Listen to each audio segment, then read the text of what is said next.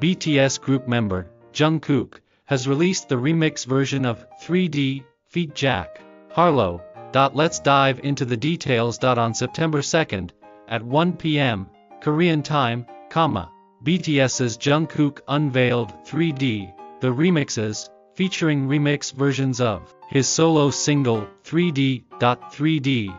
The remixes consists of four versions, AG Cook, comma, clean, sped up, and slowed down. The AG Cook remix involved the participation of the UK-based DJ of the same name, with its electro house foundation and a distinctive beat. The track gets an added flair from EDM elements, rendering a trendy vibe. The clean, sped up, and slowed down versions each offer a distinct atmosphere, showcasing the three-dimensional charm of 3D. Jungkook's second single, 3D, released last month on the 29th, stands out with its old-school sound rooted in mid-2000s hip-hop and dance. The track conveys the message of wanting to directly encounter the you in 3D, beyond 1D and 2D, and the desire to always be together as US upon its release.